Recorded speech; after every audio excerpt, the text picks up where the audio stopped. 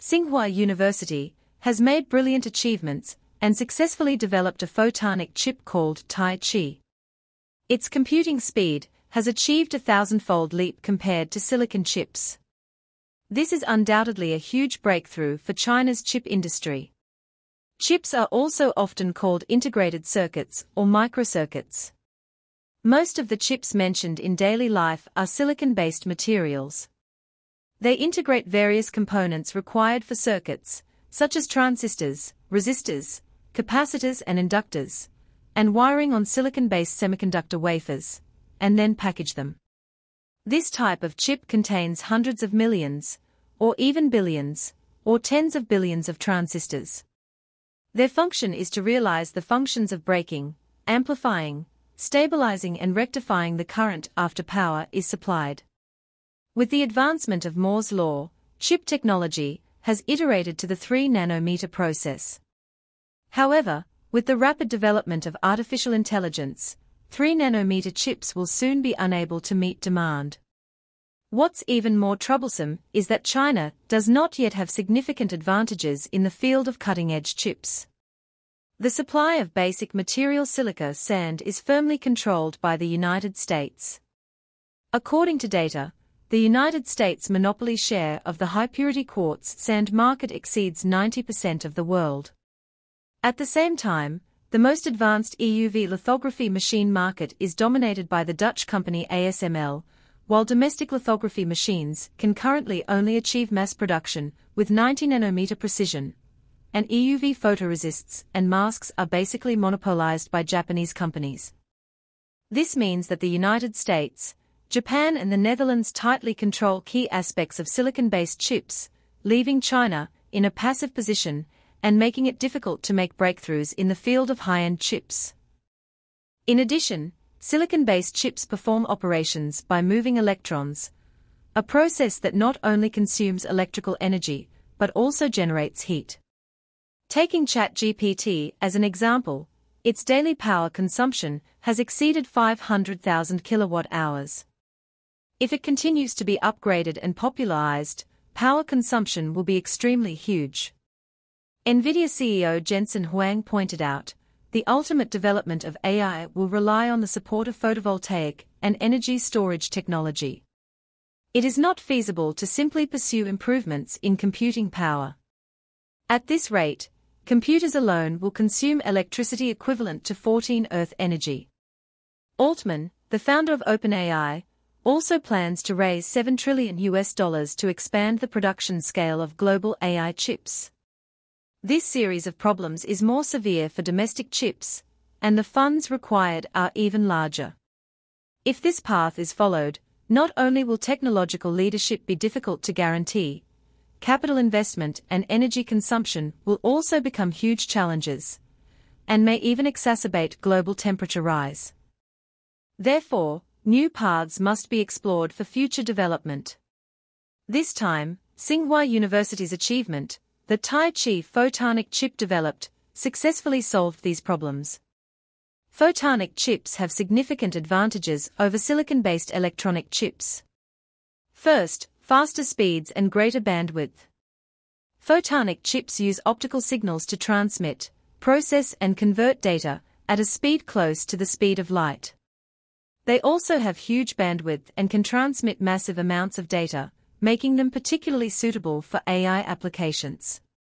Secondly, energy consumption is lower. Photons have almost no heat loss during data transmission and are significantly better than electronic chips in terms of energy efficiency. Because they generate so little heat, photonic chips can be densely packed and used without the need for extensive heat sinks. Furthermore, low latency. The transmission speed of photonic chips is extremely fast, and there is almost no delay problem when processing large and complex calculations. Finally, it has strong parallel processing capabilities. Photonic chips can transmit optical signals of multiple frequencies in the same optical fiber, enabling parallel processing of multiple data streams, making it possible for large-scale computing in AI applications. At the same time, Photonic chips also reduce dependence on the photolithography process, and can be manufactured without the need for two advanced photolithography machines. The optoelectronic chip developed by a team led by Dai Qionghai and Fang Lu of Tsinghua University is undoubtedly of epoch-making significance. Professor Dai Qionghai is currently an academician of the Chinese Academy of Engineering and Dean of the School of Information Science and Technology at Tsinghua University. He has conducted a lot of basic work in the fields of stereo vision, three-dimensional reconstruction, and computing instruments. He is committed to revealing the laws of nervous system and brain science and laying the foundation for the development of a new generation of artificial intelligence. Create support. Fang Lu is currently an associate professor and doctoral supervisor in the Department of Electronic Engineering at Tsinghua University, focusing on the exploration of light field intelligent imaging theory and technology. She innovatively proposed a new theory of unstructured light field perception and successfully developed a scanning light field. The meta-imaging sensor effectively solves the inherent conflict between space and viewing angle and achieves a breakthrough in dynamic light field imaging technology at the billion pixel level. Under her leadership, the team abandoned the traditional electronic chip computing approach and instead devoted itself to the research and development of optical computing architecture. Finally, it successfully created the interference diffraction heterogeneous integrated Taikai chip, which achieved 160 TOPS the W, efficient general purpose intelligent computing capabilities. In comparison, the H100 has a computing power of 2000 TFLOPS, but its power consumption is as high as 700 W, which translates into an energy efficiency ratio of only 2.85 TFLOPS a W. In terms of energy efficiency ratio, the performance of Taikai chip is 56 times that of H100. It is worth noting that H100 is a product of NVIDIA that has been iterated for more than 20 years. In time, if the Taijigang chip can also go through a similar iteration cycle, its potential will be imaginable. In November 2023, the team published a paper on the optoelectronic fusion computing framework in the journal Nature, revealing the first fully analog optoelectronic smart chip they developed, with a computing speed of up to 4.6 quadrillion times per second.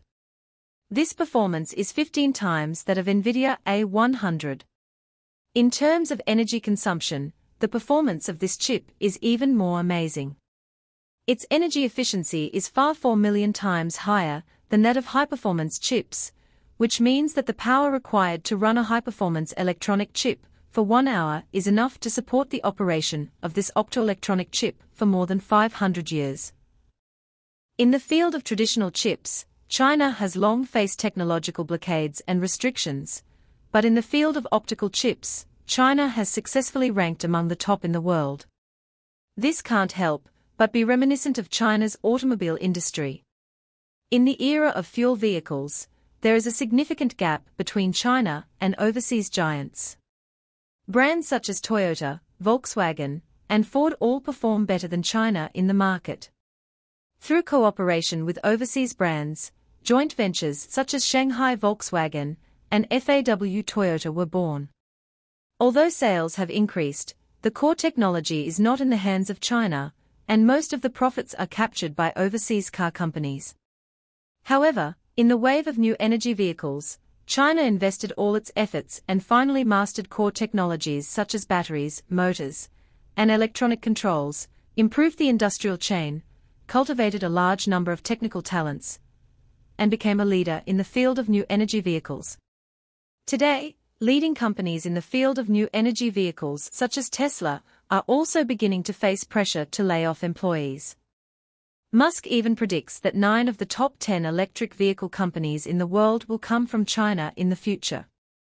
Now, China has also opened up a new battlefield in the chip field and is in a leading position.